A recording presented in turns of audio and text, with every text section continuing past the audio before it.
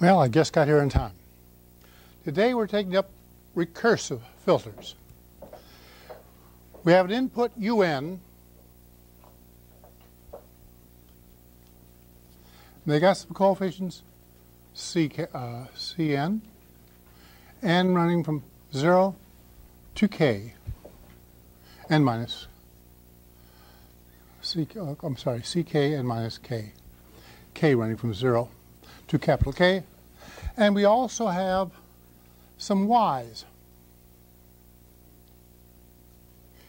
And so we get a new y, n, is that summation running from 1 to k of some dk's. That is, I use k, k plus 1 old values, the current value and k old ones, and I use old y values, and I get a new y value. If these were not there, and this were symmetric, I'd have had a recursive, a non-recursive filter. Now, the two Ks I make the same because if they weren't the same, I'll put zeros in the other till both of them are the same. I use the current value, n minus k here, k equals 0. I use the current y uh, n value, un value, but I don't use the current one here. If I use the current one here, I could transpose over, divide through, and not have it. So putting 1 here to k and 0 to k, capital K, is no real difference than 0 to k. Now, this is what is traditionally a recursive filter. If you're trying to predict a position of an aeroplane, you do not have other than current and past data. And you have past predictions to make the current prediction you want to make. Now, you might ask, well, why don't you use both sides here? Well, in the case of the airplane, I don't have new values beyond the present time. So it's one-sided. It's physically realizable, as they call it. But let me remind you that experiments are now done very frequently in the laboratory. They're recorded on a tape, and the future's right down there on the tape. So there's no reason why you could not have, in many problems, both sides for the input data. You could also assume some other out there and you'd be driven to solving a set of simultaneous linear equations. That's not something to be terrible about. But traditionally, this is the form. And that's the form I'm going to look at. It's traditional. If you have a picture and you're trying to smooth the picture or analyze the picture, you've got the stuff on all sides, this is ridiculous. You ought to be using information all around the point you're trying to smooth. And you can use some smooth values, yes, but you ought to be using that. Now, the main thing about this I want to point out is that feedback. Any y value I calculate goes back in here, affects the next value. Therefore, the method can be unstable, and I must look at filters from the point of view of stability. Will the thing run away or will it not? Typically, stability comes out in oscillation, but it can be exponential growth. I have to worry about that thing. Now, as I said to you last time, I had actually done something like this where these were y n minus k primes. They were derivative values of a differential equation. Therefore, I had a second feedback path through the differential equation, y prime equals f of x and y. So there are two feedback paths, and I had more trouble. But I had to work this out, so I really did know something about feedback paths. And stability is the major problem. I need to tell you about the nature of stability, although you had courses in it. A good story about myself is that I was at one time doing, many years ago, I was a host on six half-hour television programs on computers, and I would go out to San Francisco. I was living in the East. Uh, I would do the things station KQED. And I learned after a little while that it's wise to stay in the same hotel room regularly. Because then if you got to get up in the middle of the night, things are familiar. If you come in late, things are familiar. It's the same room with the same view and the same yellow rugged floor and so on. But the shower was a very interesting shower.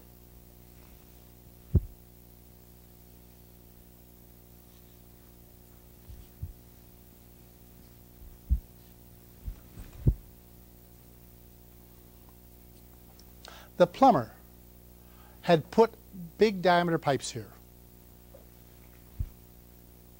What happened?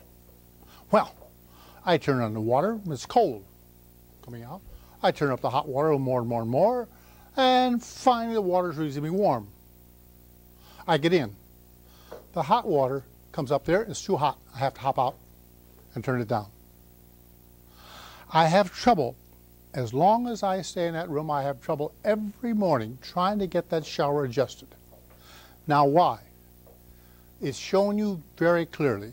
One of two ways of explaining the trouble. Either there was too long a time between when I adjusted the temperature until it got to me to sense it. Or alternatively, I changed it too fast. Both stories will explain what happens in instability. Now you know this when you're first learning to drive a car. You find the car headed for the curb, you yank the wheel over, you're headed for the other curb. Too strong a correction. Either you can call it too strong or too late, but that's the nature of feedback. And that's what causes trouble. If these coefficients here, some of these are very big, the feedback here, a small error here, we fed back to bigger error, and round and round it will go. It's a very, very touchy problem and one which you have to look at.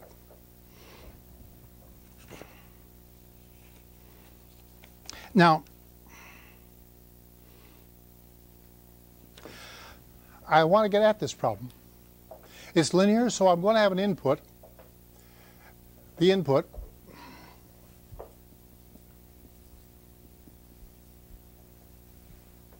that's the UN and the output, A output, e to the i omega n. When I put those in, you can see ei omega n is going to cancel out, and I'm going to get yn is summation ck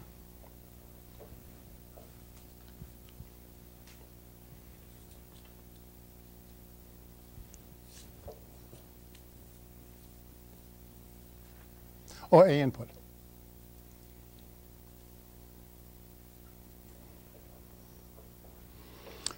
Bring the y terms over, factor them out, and solve for this, this ratio, A output over A input.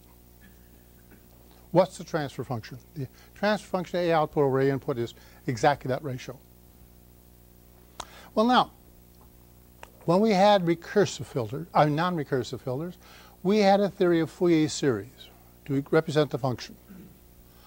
We have no theory of how to represent a transfer function we want as a ratio 2 Fourier series.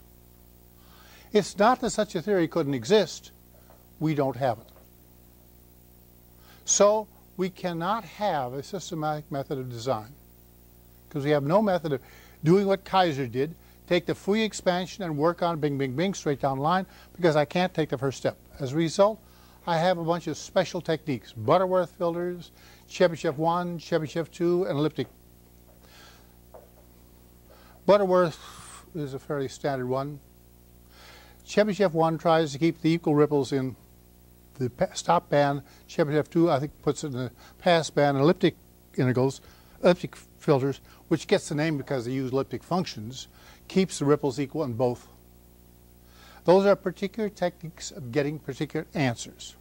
And I don't think we need to take them up here because I don't want to get involved in it.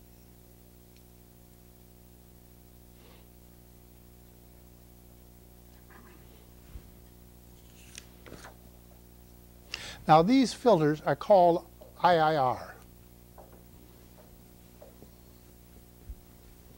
Infinite impulse response, meaning if I put a pulse in here.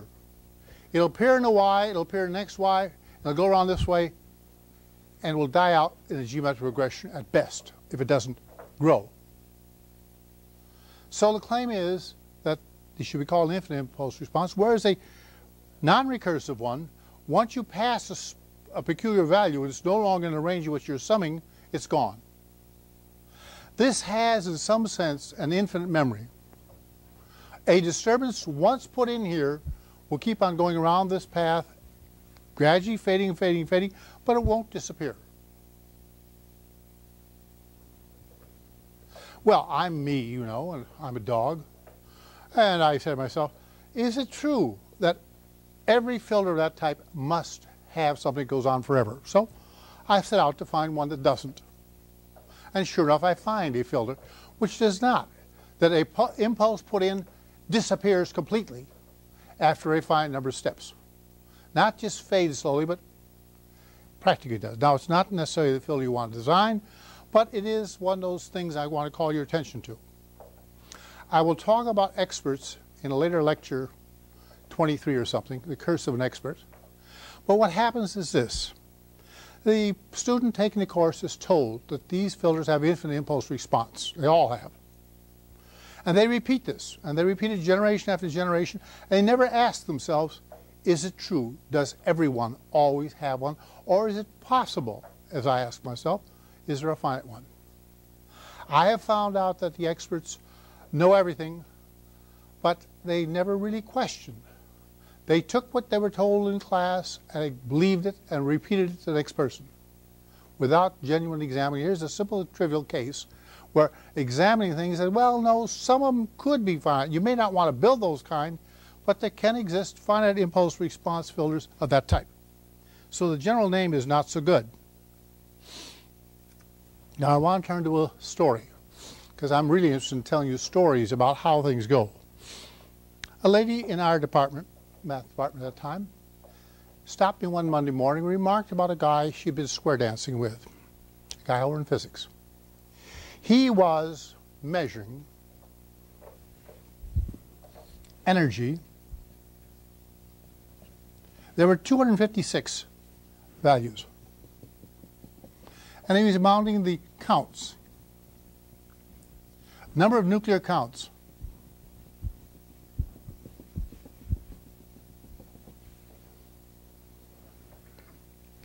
Because you know, nuclear experiments have a random element behind them. You're not going to get a smooth curve unless you run to a tremendous length of time. Well, she says, this man wants the derivative of that curve. I said, he's got a, quite a problem, hasn't he? And I walked off. We parted. And the more I thought about it, the more I thought that guy needed some help. I need a lot of help because finding a derivative of a curve is a very, very difficult business. And if there's a fair amount of noise, it's going to be very hard for him. So I look him up in the telephone directory. I call him up. Yes, he says, I got a problem. I'd come up to your office. I said, nope, I'll meet you in your lab. How about my office? I said, no, I'll meet you in your lab. It's the only place I'll meet you. Why? I want to look at this guy's equipment. Is he really a good physicist? Shall I spend a lot of time trying to get an answer for him? Or is he just one of the average bunch of people who's never going to do anything and it doesn't matter what he does?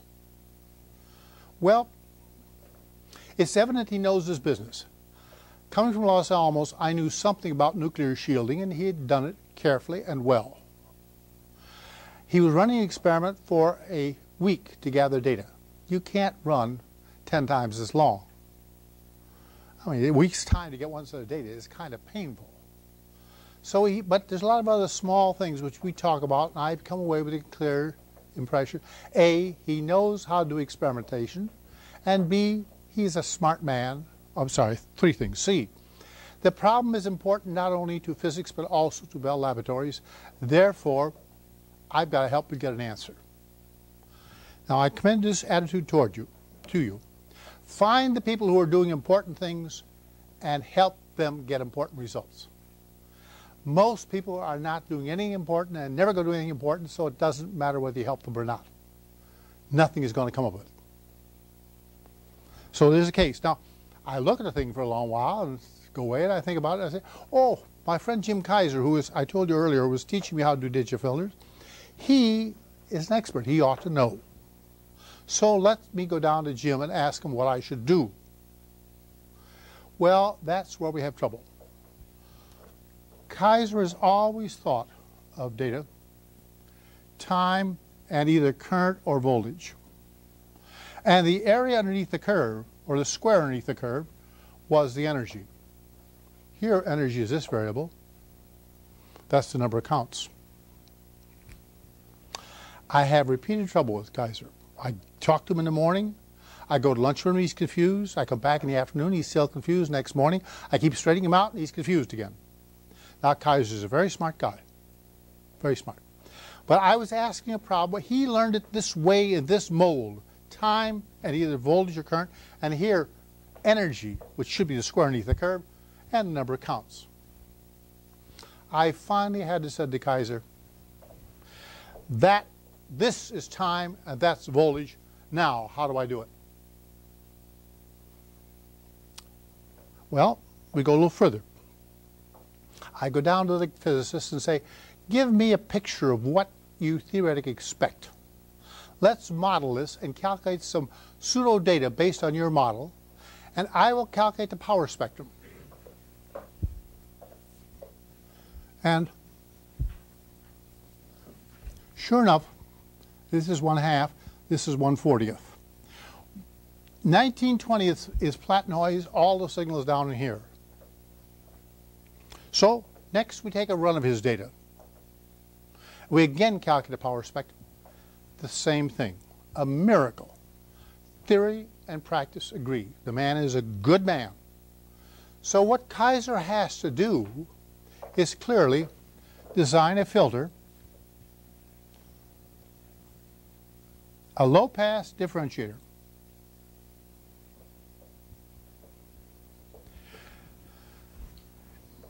Nineteen twentieths of stuff can be removed because in a differentiator you don't dare to let the high frequency come through because the derivative of E to the I omega T is I omega e to the i omega t, and high frequency is amplified.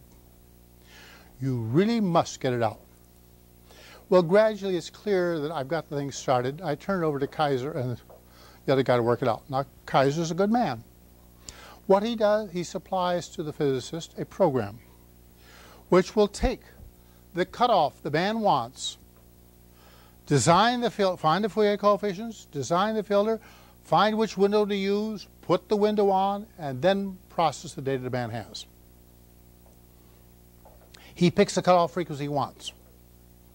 So everything's going along fine, but I happen to meet the guy we're talking about one time, and I find out two things. One, he has been trying various parts of data, moving the cutoff frequency one place or another to see if he couldn't get better results. And I had to say some rather strong words to him you know something about degrees of freedom. If I let you play and adjust everything, you'll get any answer you want. You may not make these adjustments unless you allow for degrees of freedom in the accuracy of the answer. You are kidding yourself most of the time when you do this. And he had to confess he did know something about it, and really he was in statistical sin. The other is a much more subtle point. If these are the counts I'll call him n sub k, he should really work in the square root of the n sub k because they are the numbers which will have equal variance. And he's going to combine numbers, various numbers together in a filter like that. They're going to be combined. Therefore, he should work the square. Root. I let him alone for quite a while until they were happy. And then I leaned on him on this, and I leaned on him four or five or six times before he allowed that if he wanted to get the ultimate information out of his data, he should really work in the square root of the number of counts, so the variance of the term being combined with equal variance, and he will not have trouble with noise. This is a more subtle point, and it took a good deal more arguing on my part to win the argument, but I think I got it. The result was that he and Kaiser wrote a classic paper which definitively opened the field for how they could do those kind of experiments and get results. Now, this is one of those things that I've had trouble with before. Some physicist does an experiment, he's got the data, and now you have to reduce it. If you could have gotten in there first, it'd be one thing. But he's not the only one in which he did the right things instinctively. Except for the square of counts, he was doing things pretty much correct. And he did things right. He opened the door new field. I did another one of the physicists who I disliked the guy thoroughly. I don't think the story comes in here, uh, the book. He made exactly the right measurements. The back end, it was just right. In the beginning, I wondered. He was first starting out an experiment in one see, 10 to minus, about uh, somewhere in the milli to microseconds, he was making the first measurement after he started. And he was making measurements for weeks spaced out further and further and further and further apart. I thought it was kind of strange, but at the back end, when I finally beat him down and we got the thing going, he had made exactly the right measurements.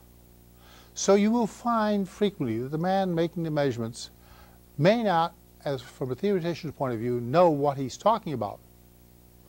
But he very well may know better than you do what is the right stuff to measure. Some people have it, most people don't. These two guys did. And in both cases, we opened the door on a new field of research which could not be done before, but we found methods of finally getting at that whole area. So it's a very important proposition.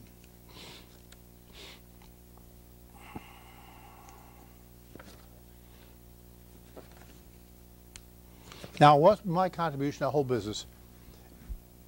I obviously am proud of it. I did it. My contribution was to identify the problem, get the two people together who were going to do the work, and Kaiser also knew his business. He ultimately gave the man the program so the man could run what he wanted to. And all I did was try to keep them statistically honest.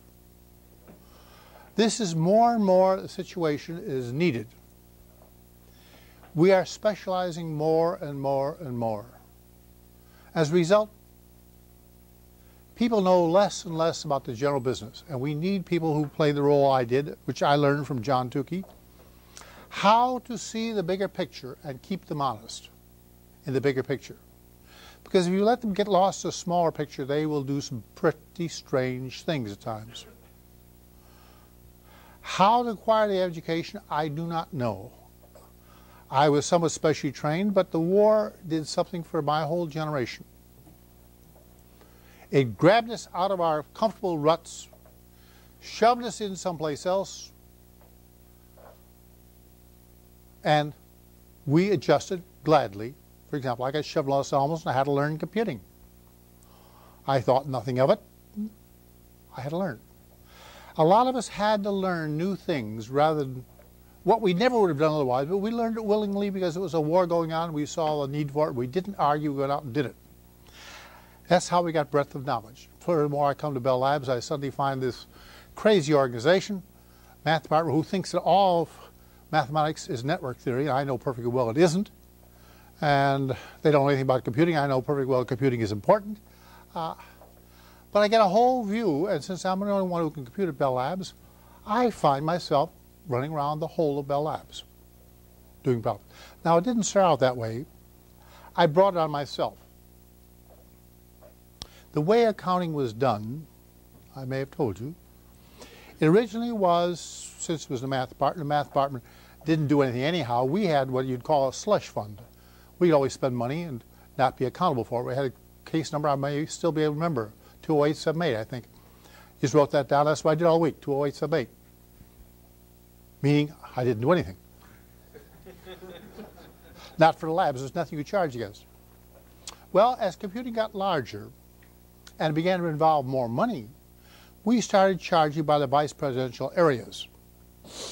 Now, at that time, I already had a conscience about working for the whole Bell Labs and not the math department. So I would go around and find some big wheel in each department.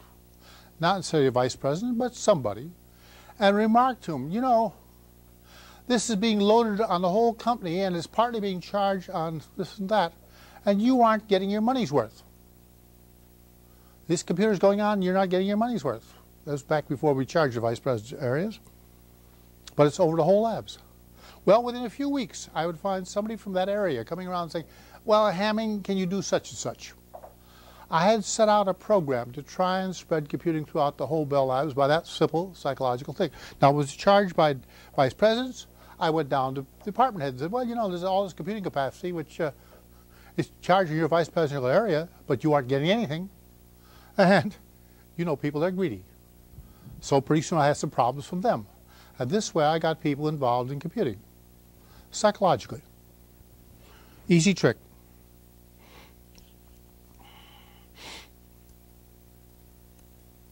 Now, the signal processing You tend to think, all of you still, in spite of the story I told you right here, of signal processing being in time, as Kaiser did. Yes, and you're also thinking of radar things or underwater sound or something else like that. Yes, but when you are near the top, you begin to ask yourself, what is the Navy doing? How is the tonnage of ships versus the firepower changing over the years? The data is noisy. You can build a very simple filter, design a fairly crude one, and smooth it in your office without any trouble, even with only a hand calculator if you want, and find out pretty much what is going on independent of local noise. There are any number of problems that you can look at from old data. Now, I will warn you about old data later on in the talk, but nevertheless, when you want to find bigger trends, there's a lot of noise in all data. You're going to want to filter it out, and you could, if you wanted to, over a lifetime, design 10 or 20 different filters to get at 10 or 20 different kind of questions you wanted. Thus, although you tend to think of filters uh, designed for filter out noise in submarines or in airplanes or something else, if used right, most filters will be one or two shot jobs. You do it for a couple of while, and then you're off on some other problem. You should design many more simple little filters than these exquisite ones which you need for gun directors and so on. But uh, I probably can't persuade you to do this. It, there is an enormous amount of knowledge we learned out there. You've already got the records. They need some filtering to remove noise to get some understanding of what's going on.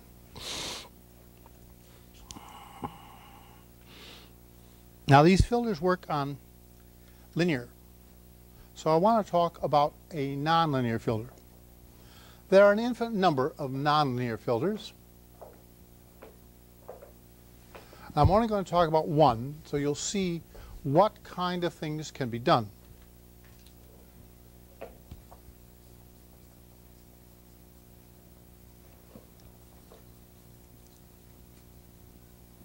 I'm going to take two k plus 1 points and take the median. All right. Suppose I have some data. There's a jump. Well, so long as I'm over here, k plus 1 will be up there, and I'll have a point up there. The moment I jump to k plus 1 on this side, only k on that side, the thing will drop down to here that kind of filter will follow a sudden change in state. Right? Most of the filters you got would have tried some Gibbs phenomenon, wiggle around, and done something of a big transitional. This kind of a filter, a running median, will take care of following discontinuities, a change of state of some apparatus. For example, in radar, there is one search mode for searching whether there's a target out there, and there's another mode entirely when you have got the thing on the target and you're trying to track it. There are two different modes of operation. First, can I find a target? Having found it, can I track it? Frequently you have these discontinuous changes. You can very well use this kind of a filter on one side. When you come near the discontinuous change, a running median or some other nonlinear filter will do the trick. The number of nonlinear filters is enormous. The trouble is, there isn't much theory. Those filters, they work great when the underlying mechanism is linear. When the underlying mechanism is not linear, it depends. If there's a noise around there, uh, you're all right. It's additive. If it's multiplicative noise, uh, well, the story's a little bit different. The idea is the noise is additive, and I will filter out the additive noise. If it's multiplicative, it's a little bit more trouble because the noise is bigger when the numbers are big than it's small, which is characteristic of floating point numbers. And a great many other things. The bigger it is, the relatively bigger, not relatively the bigger is the noise, but relatively bigger it may be small. So you have a great deal of problems there.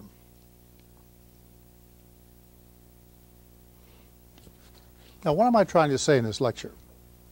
It's one of these general lectures which I'm trying to use technical knowledge to get at your habits of thinking and point out how the normal person operates and how they don't do much.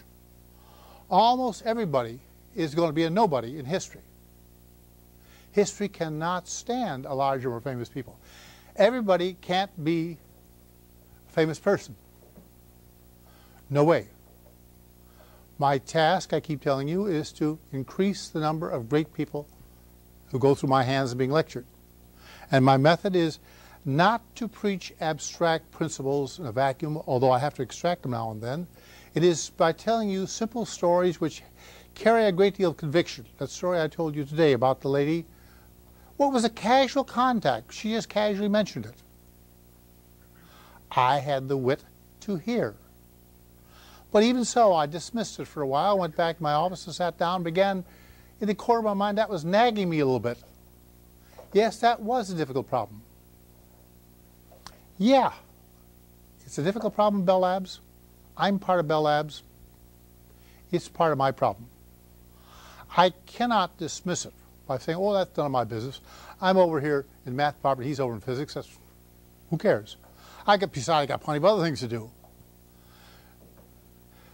It's obvious I should think to you that people who only worry about their own little area, for example, if they're submariners and only think about submarines, I can't make them chief of staff. The person I can make chief of staff is the person who's conscious of the needs of the whole, not of the parts. The same applies to a corporation. You put a salesman in charge of a company, he'll put more money into sales, and sales will go up, but quality manufacturing will probably go down. You put a manufacturing guy in charge, and the quality of the product will come out great, but nobody will be selling it. You'll have the stuff on the loading platform unsold. You can see the trouble. The problem is how can I get you to quit being average and open your eyes as somehow I did at Bell Labs. My conscience got me. Yes, it's a problem within Bell Labs. I work for Bell Labs. Furthermore, it's an interesting uh, problem in all science. I'm a scientist. Yes, I owe them an answer, the best I can do. In this case, I didn't really deliver the answer, but yes, I did. Kaiser and he wrote the paper, and that's another thing I want to discuss with you very carefully. I worked with a great many experimentalists over various times and made various suggestions. I never, never dared to write up a paper jointly and publish it, or joint paper of my own. I did nothing. If they wrote up the paper and put me as a co-author, I would sign. But I dared never write paper myself, even despite the fact I thought the whole thing was mathematical.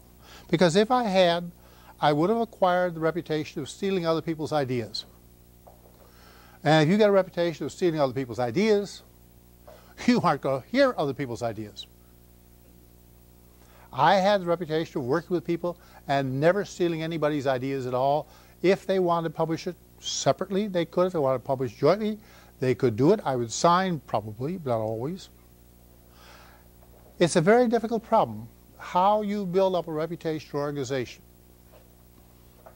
One of the things you certainly want is people will trust you. People trusted me. They trusted me. I would not do this. Well, you have the same thing. As you live your career, how do you behave in such a way that in general you'll be known as a person who can be relied on? That's part of the job. There's an enormous number of things beside the thing right in front of your face to do. There's a job to do. You got to get this such such builder. You got to inspect this thing, or approve this contract, or do something else like that. Yes, that's one of the things. But there's a bigger goal. The organization has need of capable people. It's my considered opinion over many, many years, we have many more important jobs than we have important people to fill them. I don't want to make invidious remarks if you're Republicans or Democrats, but I think looking back at several previous presidents, the job was bigger than the guy who had the job. And so it is many times. The president of the company needs, the company needs a better man than the president is, but there is no other people available. We have a great lack of significant people, and one of the features is reliability, trustworthy. Again, in hiring people at Bell Labs, I was more interested in their reliability than was in their brilliance of grades at school. Yes, it's nice to know they can calculate a lot of things. Can I rely on them? Will they, in a crunch, work late and not complain? Will they give extra effort when the company needs extra effort? And we'll quietly arrange later on, take goof off some afternoon here, there, and yon. We'll be nice about these things. But are they capable of suppressing their own desires frequently for the need of the whole company or the whole organization? Those people who can are the ones the organization wants. And those who can't, well, now, whether you can or not, it's useless to do what one of my friends, one of my boyfriends said. He was highly unreliable. He would have a job and one day he didn't want to go to work, he'd stay home. Or he'd go fishing if he wanted to. He was a kid, I said, you want to be an airline pilot? I said, how do you expect to become an airline pilot if you're going to be unreliable like this? They can't depend on you. So if I were an airline pilot, I'd be reliable. I said to him, you won't be an airline pilot until you are reliable beforehand. Right? So you have to start exhibiting those characteristics of leadership and trustworthiness and open-mindedness and other things I'm trying to inculcate in you, you have to exhibit them at the lower levels so when you get higher levels, it'll be known that you're one of those people that they want. And this bigger view I'm talking about, the way my friend Kaiser, who was a very smart man, could not take this to that. He had his knowledge in one compartment. He could not see it in another compartment. He could not get out of the compartmentalization. A very capable man in many respects, but very limited in others. My contribution to Bell Labs, I'm inclined to believe, was heavily my ability to do the other. Now, part of it came, of course, from experience. I went out and sought these problems from other departments. I had to learn new jargon. I had to learn all kinds of funny things. in a sense, I was lucky. In a sense, again, given that situation, I behaved in such a way as I made some of my own luck later on. You can do this. And this is the thing I'm preaching to you. Luck favors a prepared mind. A prepared mind is a person who has digested some knowledge and put it away so that it can be used differently. I don't think I told you a story about me teaching at uh, University of Louisville, did I? No? very, very early part of the war, I was teaching at University of Louisville in the engineering school. The dean was an ex-submarine commander who had been discharged because of physical disabilities. Well, he's what submarine commander would be. And he was teaching thermodynamics. I was teaching calculus. And the students were complaining about the trouble they were having. So I asked the dean, may I sit in your class? to see what's going on. The students are having trouble. He said, sure. So I sit in class. The dean writes down d theta over theta. What is it? Class doesn't know. Next hour, I go into class and say, what's that? Oh, that's log x. Everybody knows it. What's that? d theta over theta? That's log theta. Plus c, of course. In one room, with one professor, they don't know. The next hour, across the hall, no further than across the hall, with a different professor, they know. That's called transfer of training, right? You've heard the word? They know it in one room. In the compartment of calculus and Hamming lecturing, they know that cold in a different room in thermodynamics with a different teacher, they know nothing. How can I get you not to have that rigid divine? How can I get you people not to make this exactly same mistake, not be able to see this was that? It was the same problem. And all he had to do was build a filter like this, which was easy to design. He used his own methods. But uh, I want to say again, giving credit for Kaiser, he sized the guy up and gave him a program which, given the cutoff the man wanted and given the data, supplied the answer. We designed the filter right then and there to fit the cutoff place where the man wanted. Because from run to run, the cutoff point might have been somewhat different. He delivered the right thing to the guy. insofar as he knew. He didn't know, Kaiser didn't know you should really work in this instead of that. You need to know a great deal about everything, statistics and everything else. And you need to ask yourself, how does this apply to that? Oh, I learned that. Where else does it apply? Is it always this way or could it be something different? This is something I learned to a fair extent at Bell Labs by circumstance and also a fair extent from my friend John Tukey. I worked with Tukey for 10 years in a certain only technical sense. My boss had asked me one time, uh, could I do a small piece of computing for John Tukey? So I went over and got it. I decided John was a genuine genius. Difficult man, very difficult.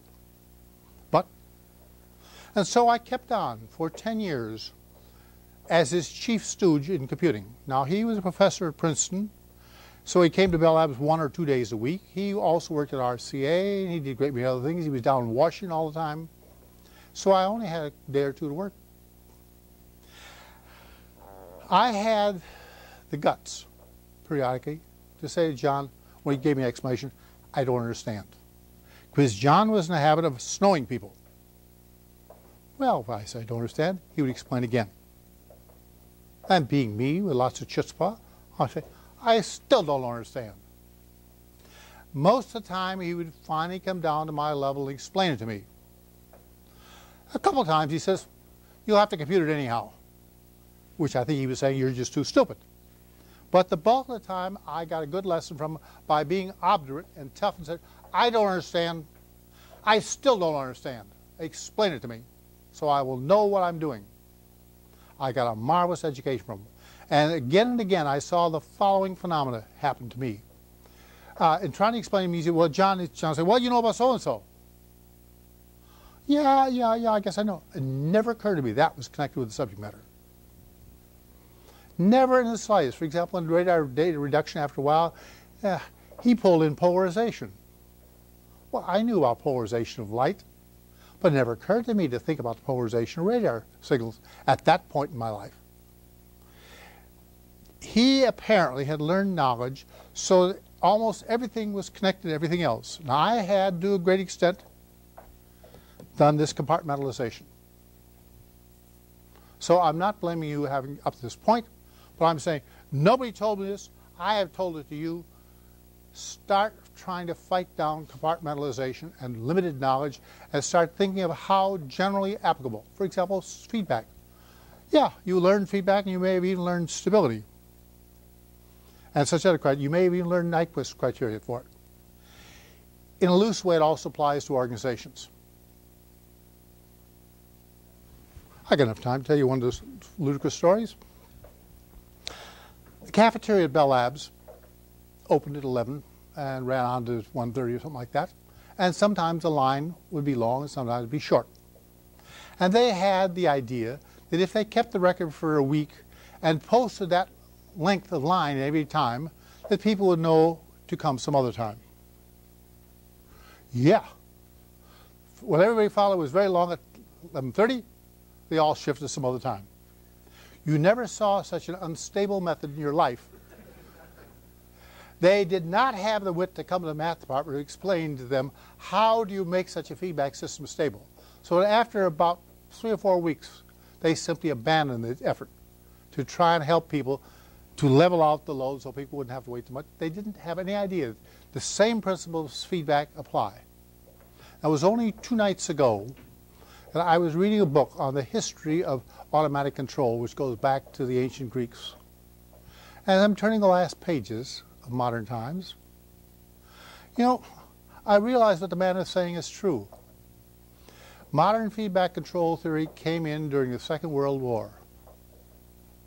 The big names that he cited, MacColl and H.S. Uh, Black, feedback amplifiers, Nyquist, I knew them all. There were some other guys I didn't know directly, but I met them later on from MIT. But fundamentally, I met the people who made automatic control possible. Therefore, I probably have a different view than you do. To you, it's a bunch of formulas in a book. To me, it's a bunch of people.